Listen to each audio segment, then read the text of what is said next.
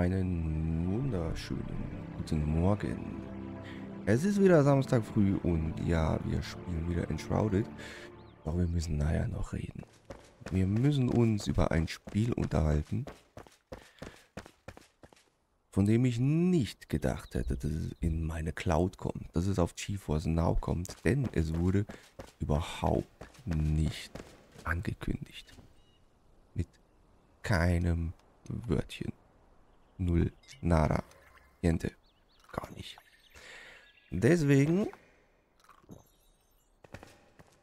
bietet sich dann an, ein Spiel zu spielen, von dem ich überhaupt nicht gedacht hatte, dass ich es spielen würde.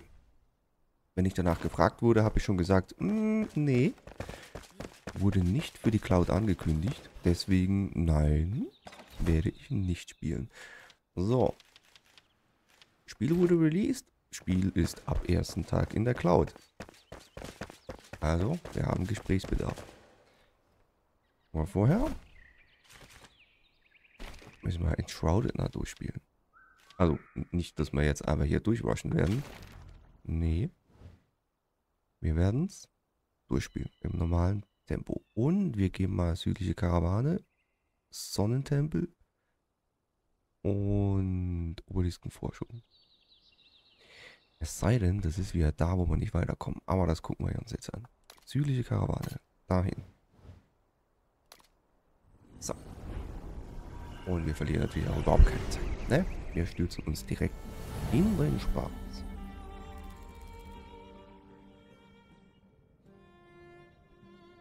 Gucken. Oh, Moment. Moment, Moment, Moment, Moment. Acht Tote. Okay. Damit wir das auf dem Schirm haben. Ich habe ein, ein, paar Sachen ebenfalls noch zusätzlich umgestellt. Ich bin ja jetzt auf dem Weg komplett weg von Stream Elements hin zu Streamer Bot.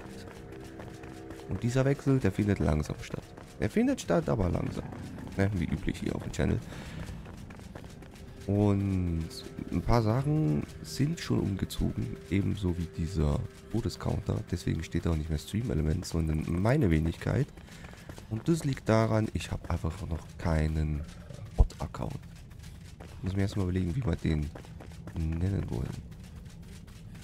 Ich glaube, hier waren wir schon drin. Ja, das war diese... Wow!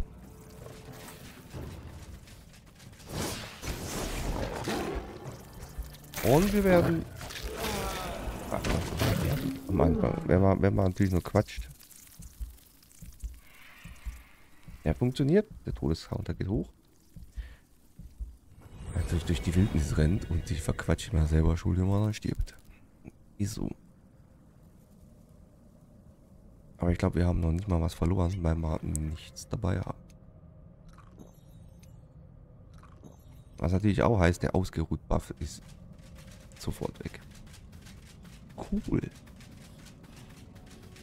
Nicht cool, aber cool. Machen wir es halt ohne ausgeruht Buff. Da können wir uns auch nicht gleich so verfransen.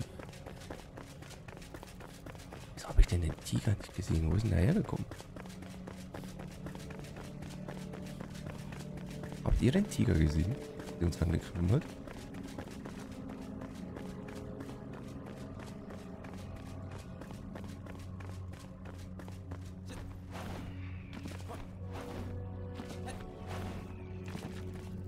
Hm.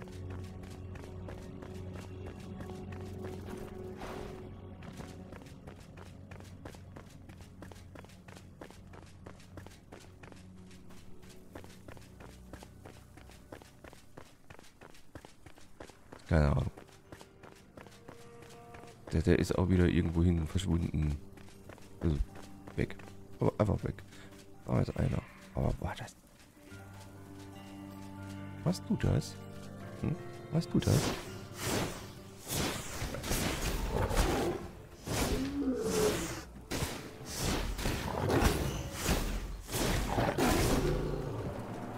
So, ist doch, ist doch nicht so schwer, ne? Ist doch nicht so schwer. Wir waren nur unvorbereitet.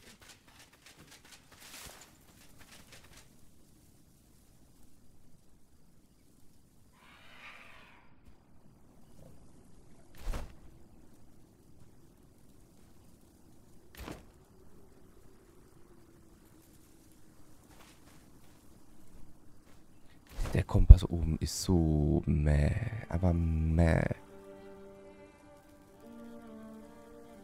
Das ist ja, ja, Moment. Irgendwo hier.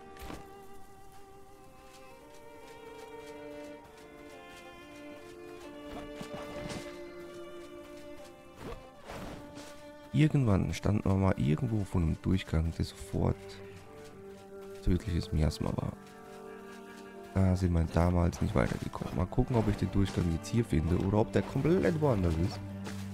Und ich den nie wieder finde. Kann auch sein. Aber wir gehen mal ganz kurz hier hoch.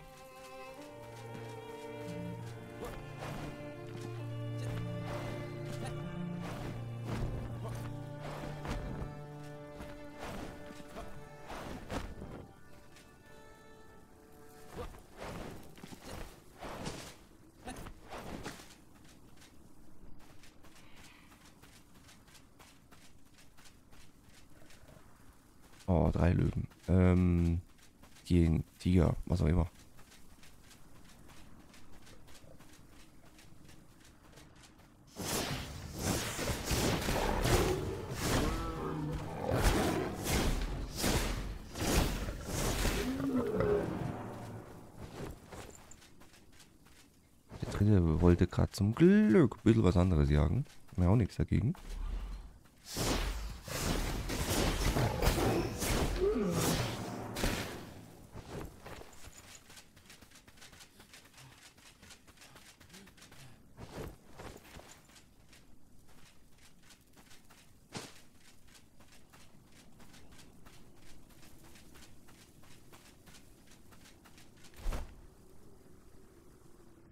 Dies, dieser Kompass, der ist echt der letzte Schmutz.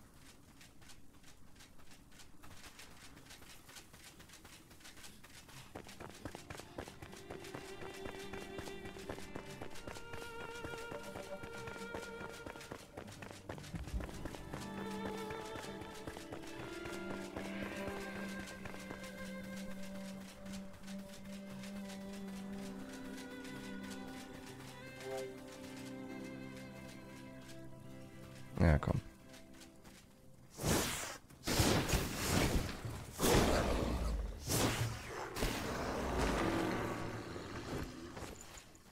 Ja, im letzten Moment umdrehen und weglaufen ist schlecht bei einem Fernkämpfer. Oder Semi-Fernkämpfer. Ich wäre gern Nahkämpfer geworden, aber irgendwie ist ein Nahkampf in dem Spiel nicht attraktiv genug, um es wirklich durchzuziehen.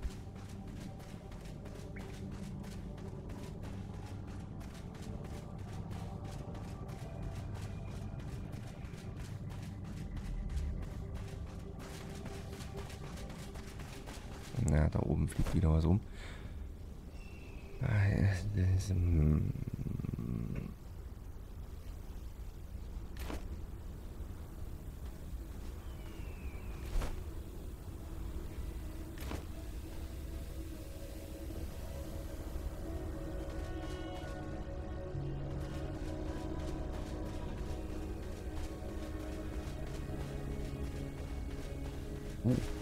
Fliegt gerade woanders lang. Dann lassen wir den auch in Ruhe.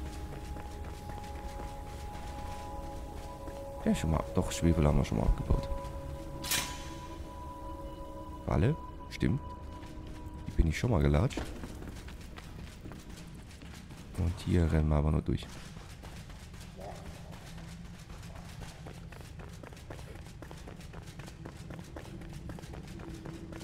Stimmt, hier war mal letztes Mal, also wirklich letztes Mal, haben gesehen, das ist tödlich im Miasma. In der Zwischenzeit haben wir die Base upgraded.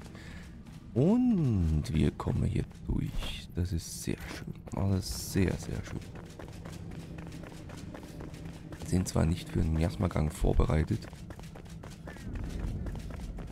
Aber wir gehen jetzt hier trotzdem durch. Lassen uns mal nicht von Schmetterlingen ablenken, sondern gehen wirklich auf das Ziel zu. Dann sehen wir den gleich aus dem Miasma raus. Und wir gehen trotzdem mal gucken, was da in der Abbiegung drin ist.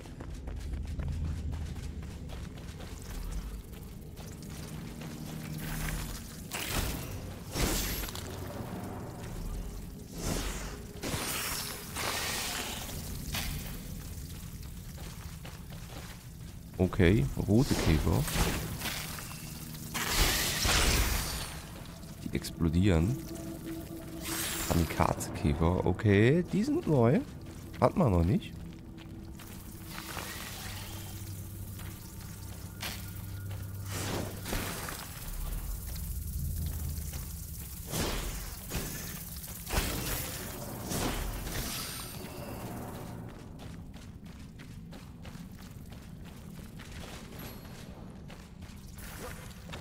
Höhlenpassage. Oh, komm schon. Kiefer. Oh, noch mehr.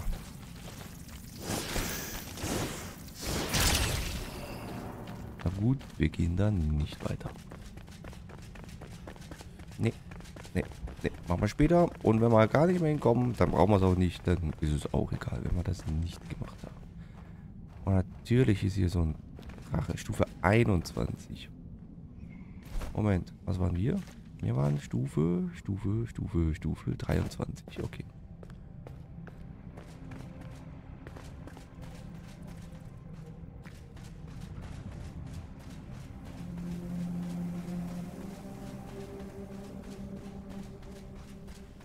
Ja, den, den pullen wir irgendwann, oder? Ich glaube, der muss weg.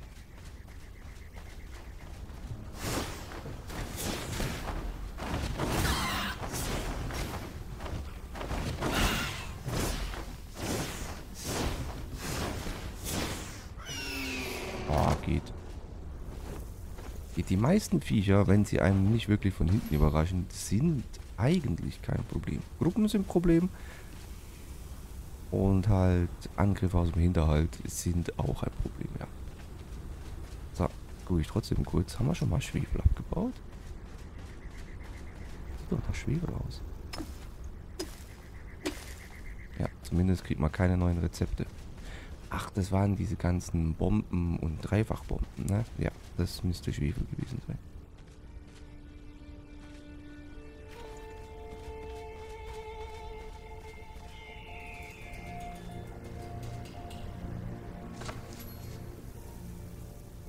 Fruchtschüssel unter Bäuerin.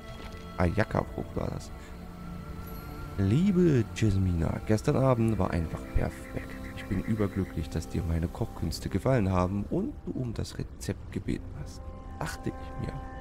Ich lasse es hier, bevor ich mich wieder mit den vielen hungrigen Mäulern der Karawanen kümmere. Mal sehen, ob du die geheime Zutat errätst. Moment. Und zwar die Yucca-Frucht.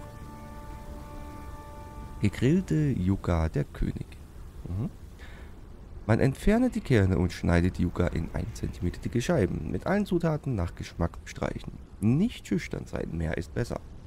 Auf offener Flamme rösten, bis sie weich ist. Während des Röstens die Kerne in einer Pfanne rösten, bis sie goldbraun sind. Heiß und mit viel Liebe servieren.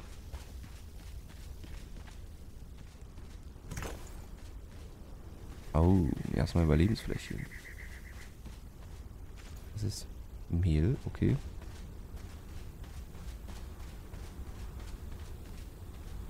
Wir holen erstmal den Bogen, ne? Oh, kein Bogen. Miasma-Meteor.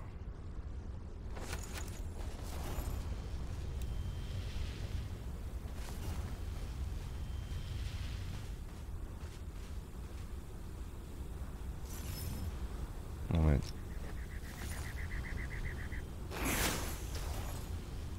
Ah, okay. Ich mir zwar was anderes drunter vorgestellt, aber ist okay. Was ist das für eine Ansicht? Welch Segen, das Volk von Oslapis hat Überlebende aus der Karawane gefunden. Angeführt von Königin Chesmina selbst. Ich, als ich ihr, als ich ihre Rede hörte, den Wind in ihrem Haar sah, da wusste ich, dass ich ihr folgen würde. Mit der Flamme der Hingabe und des Mutes leuchtet ihr Licht hell gen Neuanfang. Die Königin wundervoll, so entschlossen und ausdauernd strahlend wunderschön. Ich strebe danach, wie sie zu sein. Die Menschen zu inspirieren und zu ermutigen. Es schmerzt mich, meine Taverne zu verlassen, aber solange mein Herz schlägt, werde ich etwas bauen. Ich werde wachsen und durchhalten. Besonders wenn meine Königin so mutig den Weg weist. Emily Frey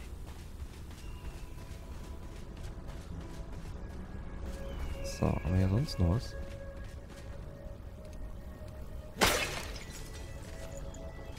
Was? Nein, ich wollte mir nicht hinlegen.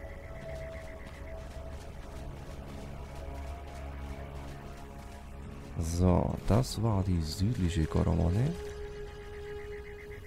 Wir gehen weiter zu den Sonnentempelgeschichten.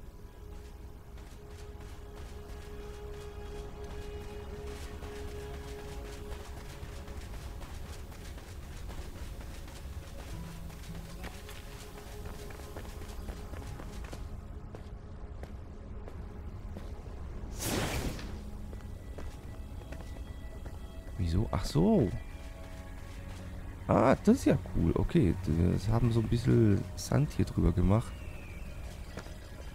Um quasi zu zeigen, dass hier schon sehr, sehr lange kein Mensch mehr war. Das ist cool. Gefällt mir.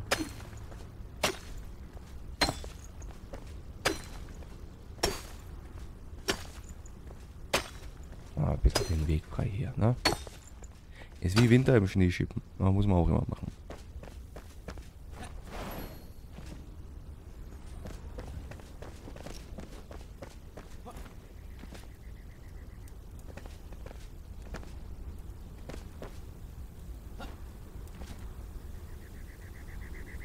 So, und natürlich wird jetzt Nacht. Jetzt Nacht.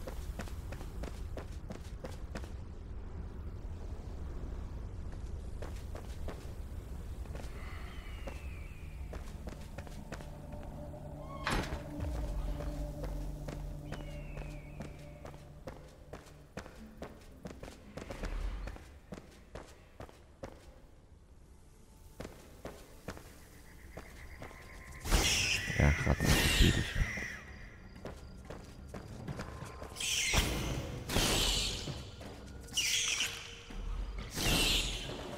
Meine? Nö. Moment, ah, doch, waren drei. Dann habe ich jetzt eine quasi eben nicht ziehen, nebenbei miterledigt. Ist auch schön.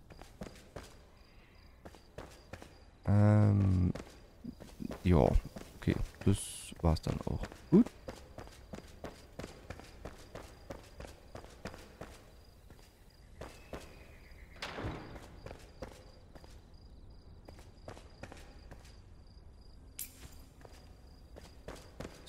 Nicht nutzen. Das könnte man nutzen. Moment, wir, wir legen uns ganz gut hin.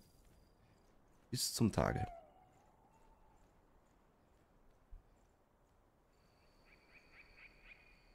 Ich, ich, mag die Nächte nicht in den Shrouded. Also, ich mag sie schon. Sie sind atmosphärisch, sie sind geil gemacht, sie sind extrem dunkel, aber zum Spielen ist es einfach unschön.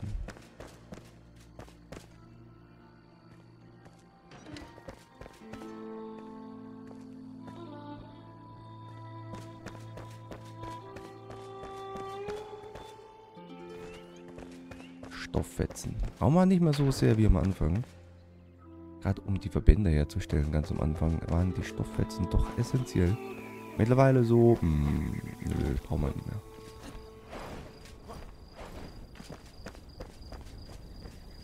Oh, es latschen doch Gegner rum.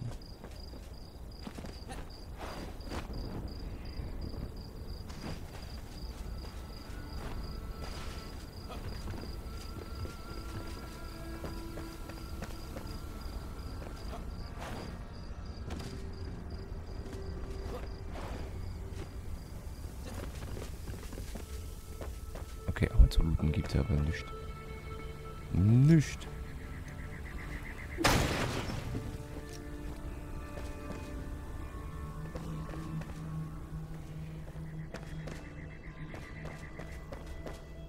Ne, kein Geheimraum. Ähm, mhm, mhm, mhm. Was soll das hier sein? Ein Laden oder was?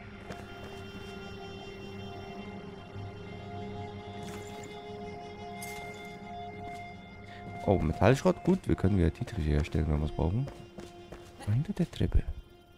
Da ist doch bestimmt was, oder?